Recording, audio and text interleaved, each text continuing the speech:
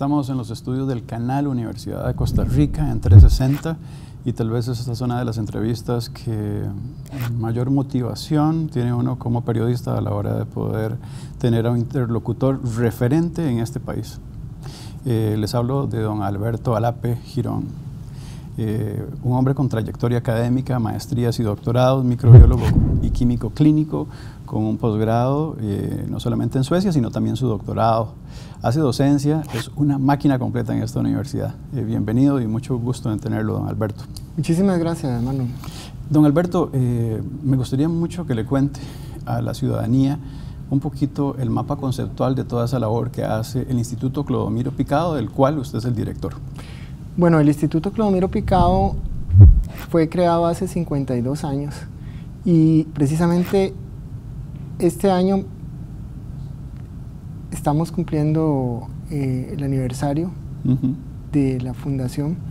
El instituto surgió a partir de un programa interinstitucional entre la Universidad de Costa Rica, el Ministerio de Salud y la Embajada de los Estados Unidos.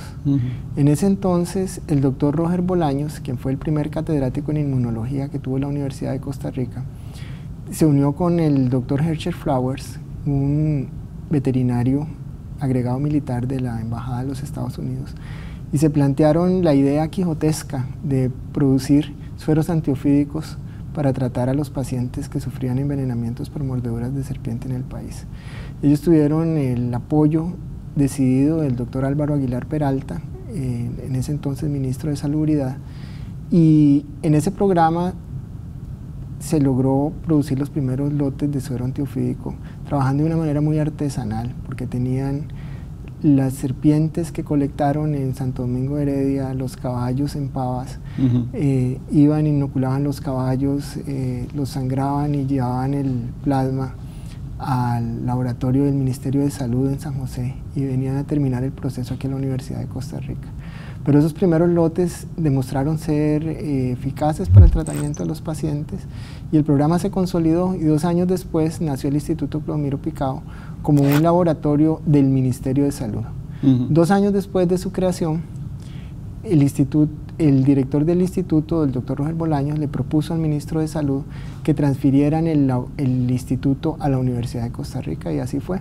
Entonces, mm. eh, hace 50 años que el instituto eh, pertenece a la Universidad de Costa Rica. Y que salva muchas vidas, además, ese suero. Exactamente, y a lo largo de estos 50 años de existencia, estimamos que los sueros producidos en el instituto han contribuido a tratamiento de unos 350 mil personas en Costa Rica y alrededor del mundo. Impresionante. Don Alberto, una de las cosas más importantes es que en este momento, país que vivimos, el instituto se ubicó en un lugar preponderante y eso también le pone una serie de desafíos. ¿Cuál es el desafío más importante que tenemos en este semestre que viene de parte del instituto? Bueno, nosotros, nuestra misión es contribuir a salvar vidas de las personas que sufren envenenamientos por mordeduras de serpientes y hemos estado distribuyendo antivenenos eh, por muchos años en Centroamérica, en varios países de América Latina y África y ese es nuestro compromiso. Ahora a raíz de la pandemia la Caja Costarricense del Seguro Social nos ha pedido dar un paso al frente y tratar de desarrollar un producto para el tratamiento de los pacientes que se complican teniendo la infección por, el, eh, por el, SARS-CoV-2, por el coronavirus que produce el COVID-19. Entonces, la producción de antivenenos no se ha detenido, esa es nuestra, sigue siendo nuestra, nuestra labor más importante, pero estamos trabajando también arduamente eh, en desarrollar este producto y estamos haciendo nuestro mejor esfuerzo, no, no podemos saber... Eh, qué resultado tendremos, pero eh, pensamos que, podemos aportar un granito de arena para que el país le haga frente a la pandemia. Ahora que usted menciona la palabra pandemia, ¿qué es lo que hace que se categorice con ese nombre eh, y que se haya convertido en emergencia nacional? Eh, porque pueden pasar muchas enfermedades, pero no son categorizadas por la Organización Mundial de la Salud como pandémicas.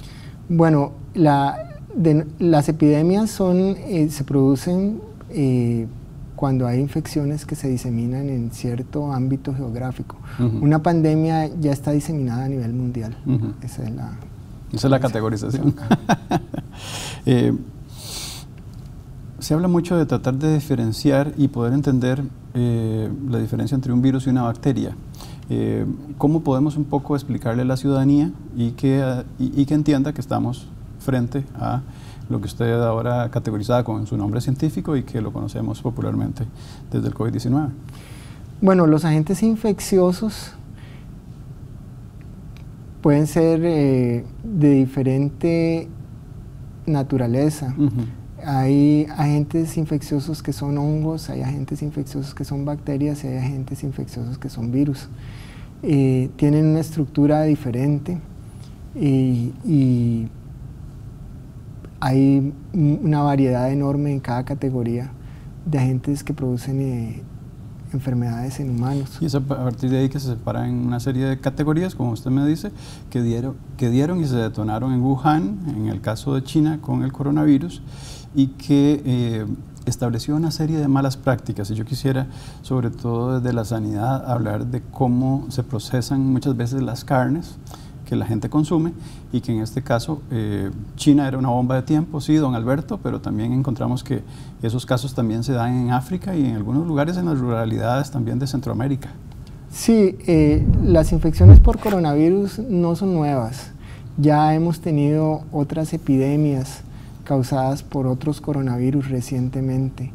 Eh, hace alrededor de un poco más de 10 años hubo una primera epidemia causada por el SARS-CoV-1 y hace un poco más de alrededor de 5 años sí.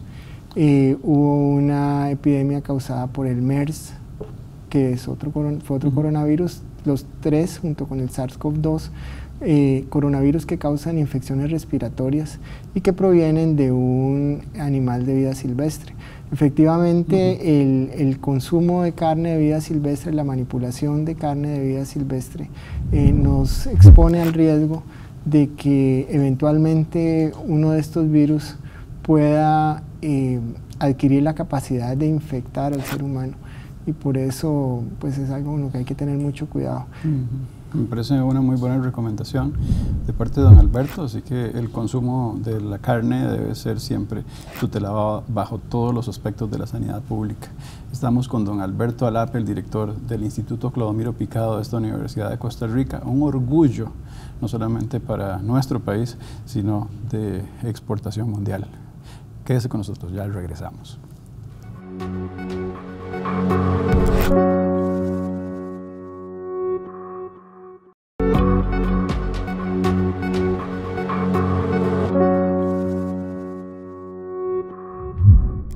Si don Rodrigo Facio nos pudiese ver hoy haciendo este 360, eh, miraría los ojos a don Alberto y estaría muy contento de la labor que hace como científico. Eh, estoy conversando con Alberto Alape, el director del Instituto Clodomiro Picado acá en la Universidad de Costa Rica. Eh, don Alberto,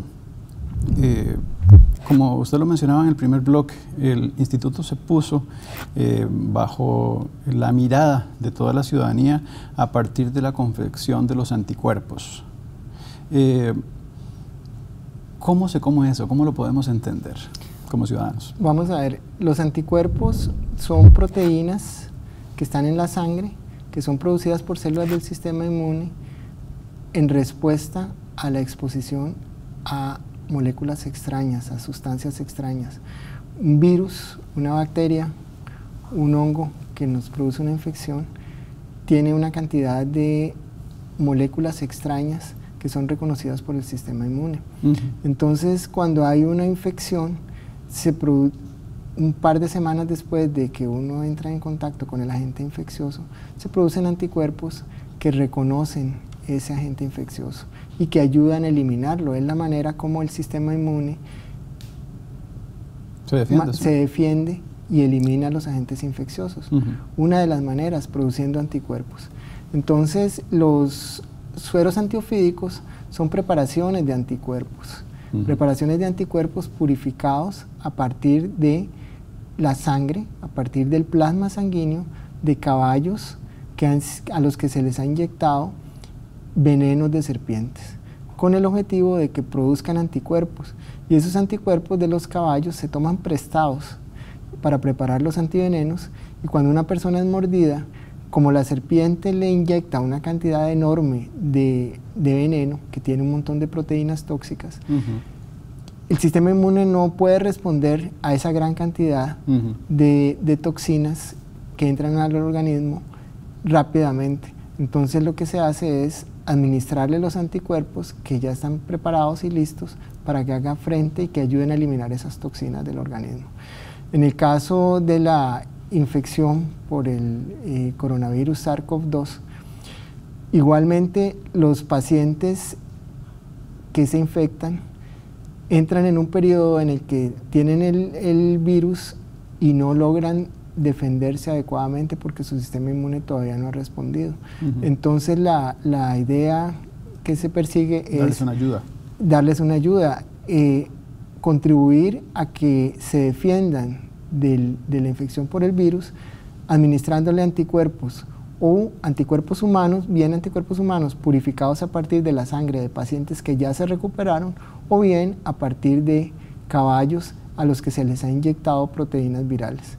Entonces, es un, los tratamientos que se están desarrollando en el instituto son similares al, a los sueros antiofídicos en el sentido de que son preparaciones de anticuerpos que le van a ayudar al paciente a defenderse de sustancias extrañas. ¿Hay alguna diferenciación, eh, don Alberto, en la aplicación de ese eh, anticuerpo en el caso de los pacientes cuando recibe eh, el,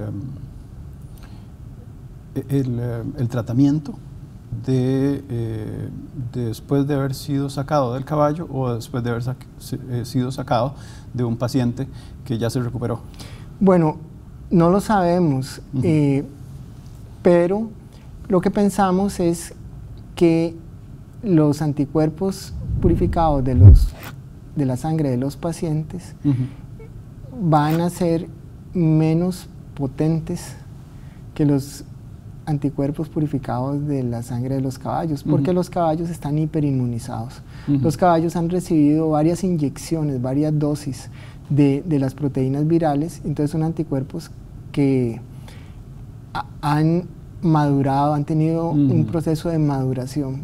son cosas técnicas, pero, pero eh, la cantidad de anticuerpos, la concentración de anticuerpos y la capacidad de esos anticuerpos de neutralizar el virus, pensamos que probablemente va a ser mayor de los anticuerpos equinos. Por otra parte, los anticuerpos equinos tienen la desventaja de que como son de origen equino, el organismo puede reconocerlos como extraños también. Entonces puede producir algunas reacciones alérgicas moderadas que las vemos también en los pacientes que reciben eh, sueros antiofídicos. Son básicamente eh, rash, eh, picazón en la piel, son, son reacciones cutáneas que se manejan muy bien con antialérgicos. Entonces, pues una por otra, ¿verdad? Don Alberto, en, en, esa fotografía, el, el, tratamiento y la limpieza que se le da a esa sangre es la que le hace que la convierta en un anticuerpo valioso. Bueno, el, el procesamiento del, del, plasma sanguíneo para purificar los anticuerpos, porque hay que entender que en la sangre, en el plasma sanguíneo, hay cientos, miles de proteínas distintas. Entonces, el objetivo del procedimiento que se hace en la planta farmacéutica del instituto es purificar los anticuerpos de manera que los pacientes reciban solamente los anticuerpos ya purificados y estandarizados para neutralizar el virus. En, todo este tiempo eh, se ha hecho un llamado a las personas para que donen su sangre después de haberse recuperado. Eh, ¿Cuál es el estado de la situación en este momento, don Alberto? Bueno, nosotros en el instituto ya hicimos una prueba, producimos un lote de prueba a partir de plasma normal, o sea, de plasma de, donadores de, sangre, eh, para verificar el proceso y para eh, poner a, a punto la, línea de producción. y en este momento, como usted dice, estamos esperando que eh, la Caja Costarricense del Seguro Social nos suministre los al menos 25 litros de plasma, que es lo que necesitamos para procesar un lote. Eh, no sabemos cuándo ocurrirá, pero los profesionales en microbiología y química clínica de los bancos de sangre de los hospitales de la Caja Costarricense del Seguro Social están haciendo un excelente trabajo en la colección de, de, este plasma, que es un proceso muy especializado, y lo que se necesita es que más pacientes recuperados se acerquen a, donar su plasma, ¿verdad? Hacemos, aprovechamos para hacer ese llamado acá en 360. Eh, eh, don Alberto, ¿y cuáles han sido los resultados eh, en, el sentido de esta primera experiencia? ¿Ya podrían categorizarse de como un tratamiento que, que obtiene una razón positiva? Bueno, de, todavía hasta que no, las cosas no se pueden dar por un hecho hasta que no se prueben, ¿verdad? Eh, el lote de prueba salió muy bien, de acuerdo a lo esperado, pero no es, la posibilidad de producir ese lote de prueba no salió en estos dos meses. Eh, los compañeros de la sección de desarrollo tecnológico del instituto tienen 12 años de estar haciendo eh, investigaciones para poner a punto los protocolos para fraccionamiento de plasma humano y ya se han hecho pruebas anteriormente para garantizar la calidad del producto. Y entonces, eh, bueno, eh, mm, que sí creo que debería ser claro para todo el mundo que la Universidad de Costa Rica ha invertido una cantidad de recursos enorme a lo largo de más de una década en investigaciones relacionadas con el fraccionamiento de plasma humano y eso es lo que nos permite hoy en día dar este paso y poder eh, tratar de proporcionar este, estos tratamientos, ¿verdad? Estamos hablando con don Alberto Alape, el director del Instituto Clodomiro Picado, un hombre formado en nuestro país, pero también en Suecia, con su maestría y su doctorado, y con una amplia trayectoria también en la Escuela de Medicina como docente. Así que quédese con nosotros porque hablamos ahora del plasma, pero seguimos hablando de todos estos anticuerpos potentes que viene desarrollando el Instituto.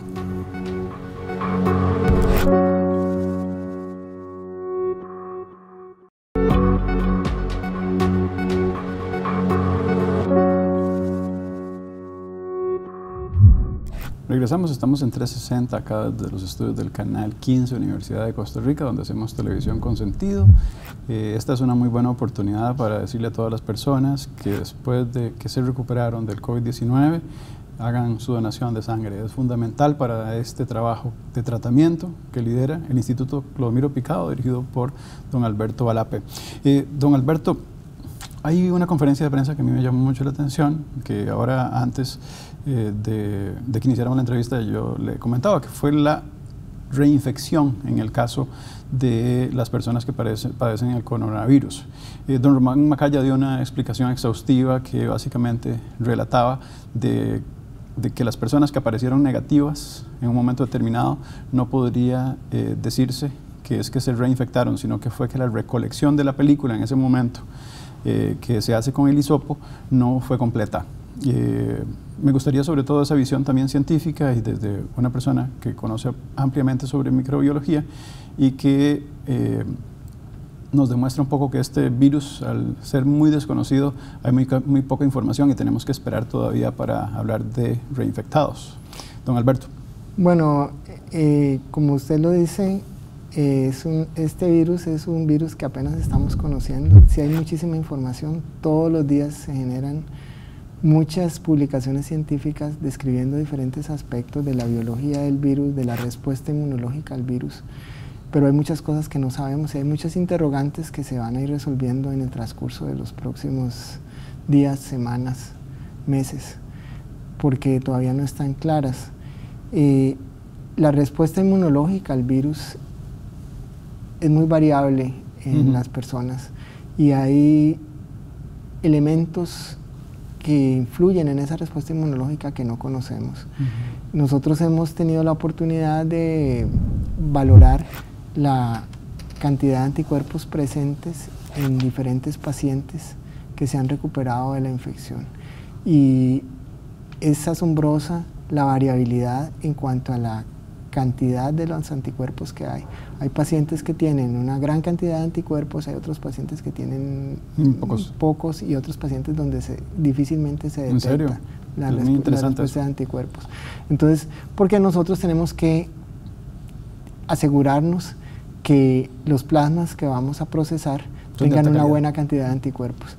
Entonces, esa es la ventaja del tratamiento que se está proponiendo con anticuerpos humanos purificados con respecto a la transfusión de plasma que se está haciendo en otras partes del mundo y también en Costa Rica. Porque cuando se transfunde el plasma directamente de un paciente a otro, puede que ese plasma tenga muchos anticuerpos o que tenga menos o que, o que tenga muy pocos. Entonces, la respuesta clínica del paciente puede ser muy variable. Cuando tengamos el producto, la expectativa es que sea un producto que tiene solamente los anticuerpos purificados en una buena concentración y una preparación estandarizada, de manera que todos los pacientes van a recibir un tratamiento eficaz y seguro. Claro. Eh, don Alberto, ahora que, usted mencionaba muchísimo que hasta que no se pueda hacer la prueba no se pueden eh, obviamente sacar los resultados, eh, recuerdo la primera conversación que tuve vía, Skype en aquel momento con usted, donde hablábamos que a mediados de junio ya esa recolecta se podía lograr. Ahora hablamos de que todavía se necesita más sangre para poder terminar ese lote. ¿Podríamos hablar de dos, tres meses para que podamos hablar de resultados tangibles en el caso del el tratamiento, don Alberto.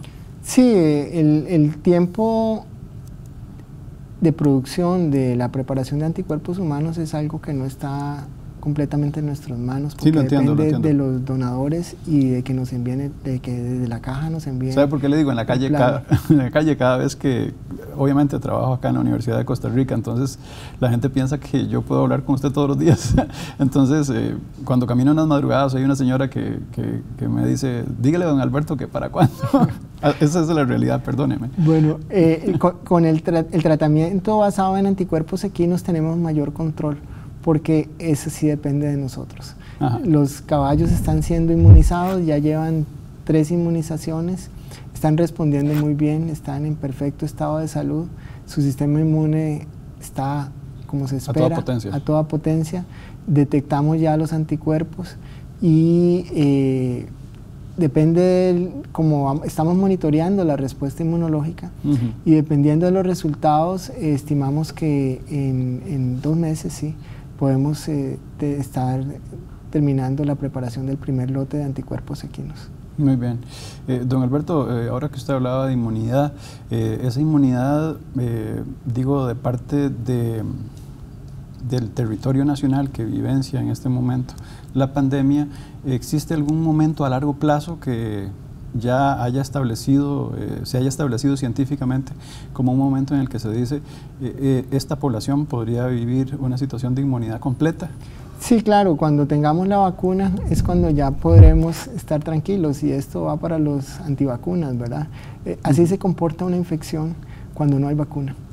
es justo lo que estamos viviendo ahora, ¿verdad? hasta dos años. La, la, la vacuna probablemente va a estar en tal vez un año, eh, entre uno y dos años. Y lo que pasa es que la vacuna va a estar disponible, pero la demanda va a ser inmensa y el costo probablemente va a ser muy alto también. Entonces, en realidad, ¿cuándo tendremos la acceso. vacuna, acceso a la vacuna en Costa Rica? Eh, no lo sabemos. Por eso, eh, lo que pretendemos con el trabajo que se está haciendo es tener una alternativa, un tratamiento para las personas que se complican. Es claro, es importante que los teleaudientes tengan claro que lo que se está desarrollando en el Instituto Clodomiro Picado no es una vacuna, sino es un tratamiento. Y no es un tratamiento para todos los pacientes que sufren infección por el coronavirus, sino para aquellos pacientes hospitalizados que están complicados. Es un paciente para evitar que se perdamos vidas, ¿verdad? y básicamente está dirigido contra los pacientes en estado severo y crítico de la enfermedad.